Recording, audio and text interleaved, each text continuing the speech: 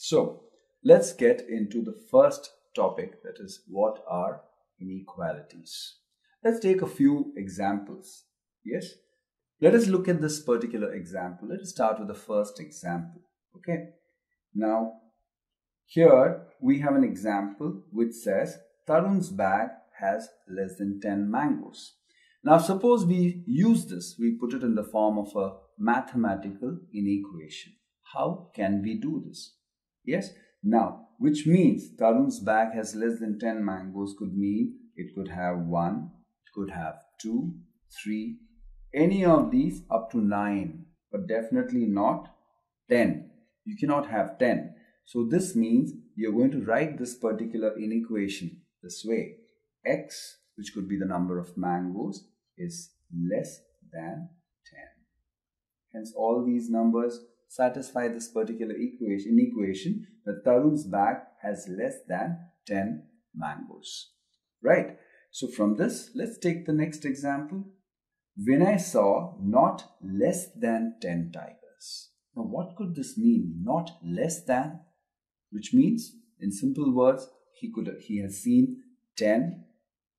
He has not seen 9, he has 10, seen 10 or 11 or 12 or 13.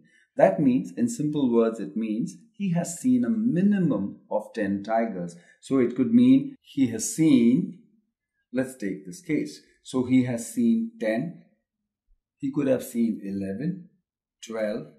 How many? Maybe, we don't know how many, but definitely not less than 10, which means that he has seen greater than 10 or even equal to 10. That means he has seen, the number of tigers that he has seen is greater than or equal to 10. So this is how we can introduce the concept of greater than or equal to 10. Right? Let's take the next example here. Dylan earns not more than rupees 1 lakh. Dylan is earning not more than rupees 1 lakh, which means he could be earning 1 lakh or anything less than maybe 99,000 or anything, but definitely not more than 1 lakh, which means, which can be translated this way. Suppose Dylan's earnings are Y, so we say Y is either less than 1 lakh or he could be even earning 1 lakh. So we write this concept of this particular inequation this way y is less than or equal to 1 lakh. Let's take the next example. Simple examples. x is a whole number not more than 5. It's a whole number not more than 5. When we're talking about whole numbers, we're not talking about 0 0.2, 2, 3 or 4. So we're dealing with numbers starting from 0, 0, 1, 2, 3, 4, 5.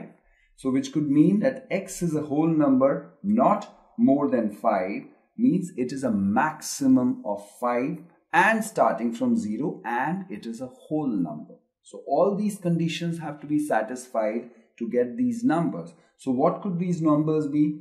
They could be 0 or the number could be 1 or it could be 2 or it could be 3 or it could be 4 or it could be even 5. So it could be 0, 1, 2, 3, 4, 5. So which means that the number is x is the number and it is either less than 5 or it is equal to 5 which means it is a maximum of 5 is what we have in this. Right.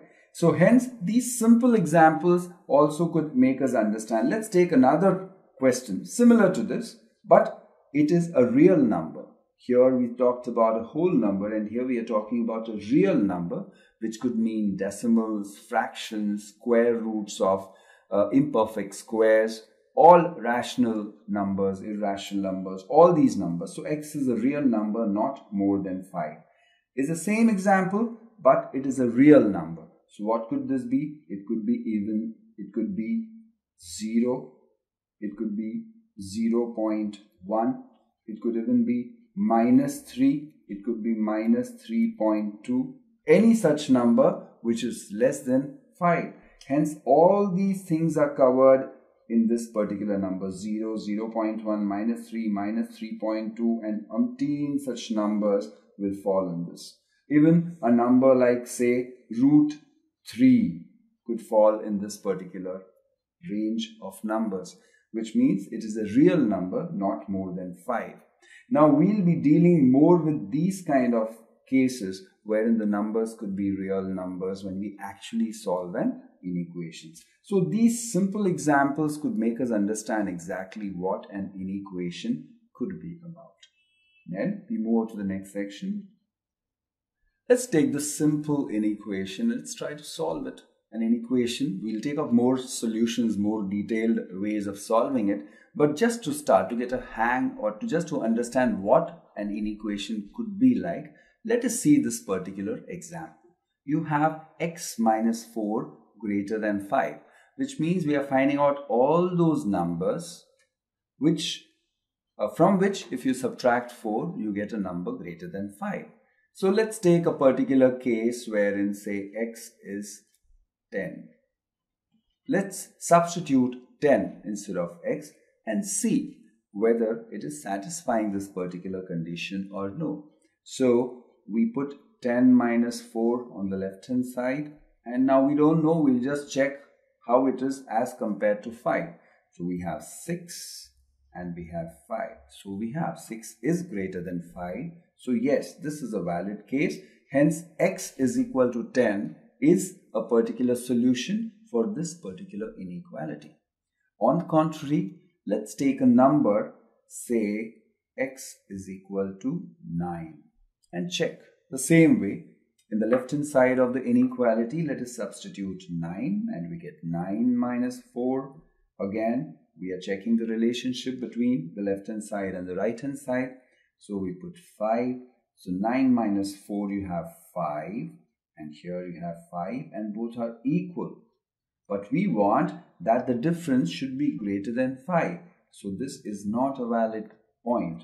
So x is equal to 9. This particular thing is definitely not a solution to this particular inequality. So this simple example makes us understand how we can judge what could be a solution of a particular inequation or no, whether something could be a solution to that inequation